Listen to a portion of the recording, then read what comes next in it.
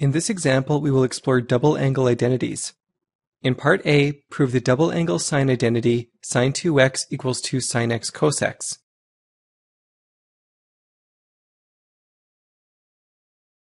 We write the statement and draw a line.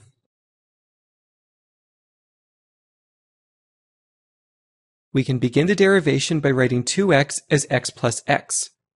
We do this to create an opportunity to use the sum formula for sine.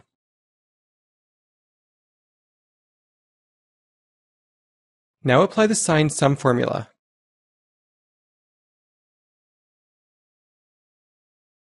Group like terms to get 2 sine x cos x.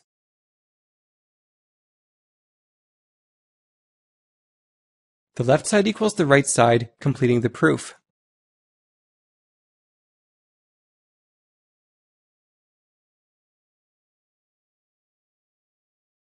Now we'll move on to part B. Prove the double angle cosine identity cos 2x equals cos squared x minus sine squared x.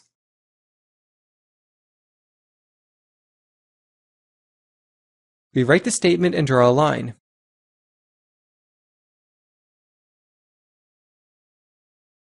As in part A, we can begin the derivation by writing 2x as x plus x.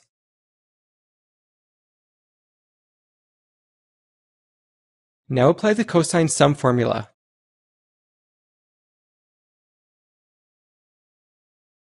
This gives us cos squared x minus sine squared x.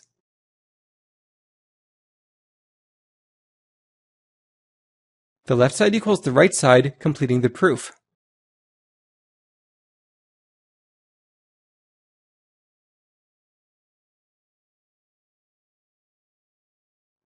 Now we'll move on to part C.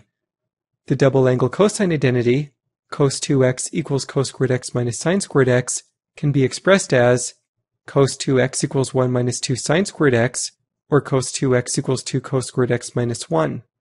Derive each identity.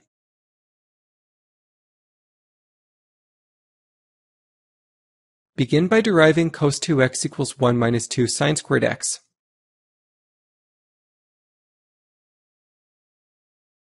Start with the first version of the identity, cos 2x equals cos squared x minus sine squared x.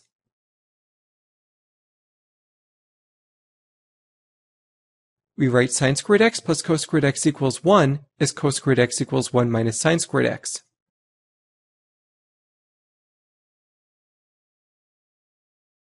Replace cos squared x with 1 minus sine squared x.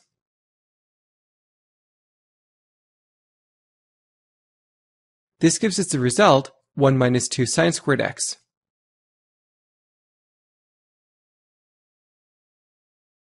Now derive cos 2x equals 2 cos squared x minus 1.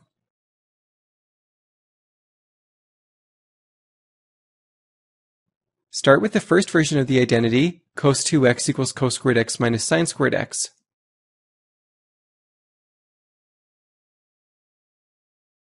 We write sine squared x plus cos squared x equals 1 as sine squared x equals 1 minus cos squared x.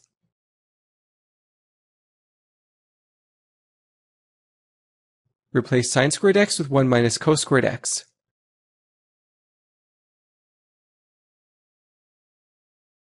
This gives us the result 2 cos squared x minus 1.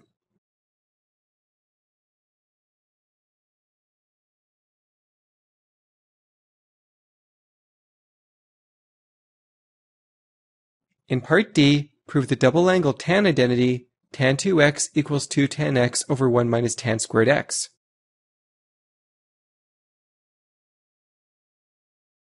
We write the statement and draw a line.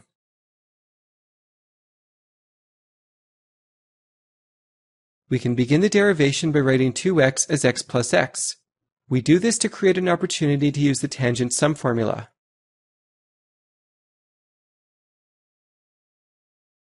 Now apply the tangent sum formula, tan a plus b equals tan a plus tan b over 1 minus tan a tan b.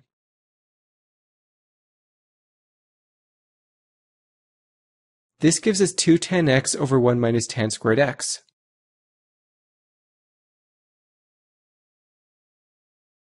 The left side equals the right side, completing the proof.